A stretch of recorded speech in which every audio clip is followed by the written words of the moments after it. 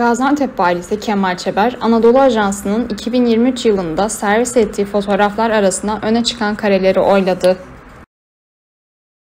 Güzel yine. Her sene zorlanıyoruz böyle. İsterseniz renginden koridora çıkayım. Bu ne? Çocukların taşıdığı. Bunlar e, poşetlerden balon yapmış Sayın Valim.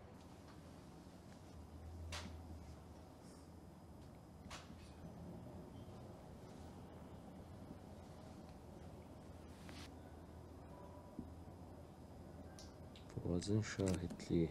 Orada da tabii. TGC. Şu benim hoşuma gitti ya. O deniz analarım onlar. Evet Sayın Valim. Bunu ben de çok beğenmiştim.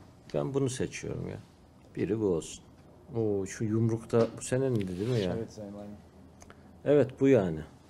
Yani aklımdan benim filenin sultanları geçiyordu. Şeyde tabi bu sene 3 tane şampiyonluk birden aldılar değil mi? Aa, çok güzel ya. Bu neyin üstü? Ee, enkazın çevresindeki bir binanın çatısı. Yani kaç gündür de gelmemiş aslında sahibi. Hayatını kaybetmiş. Hatay'dakilerini kurtarmış. Ya hepsi güzel tabi. Gayret. Diyarbakır.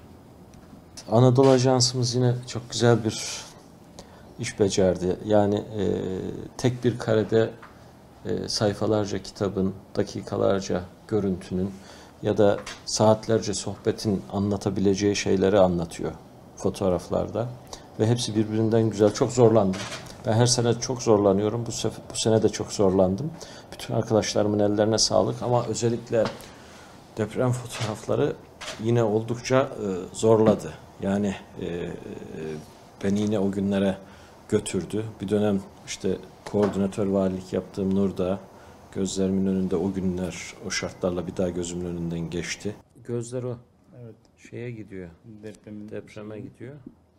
Rabbim bir kez daha bize bu acıyı yaşatmasın.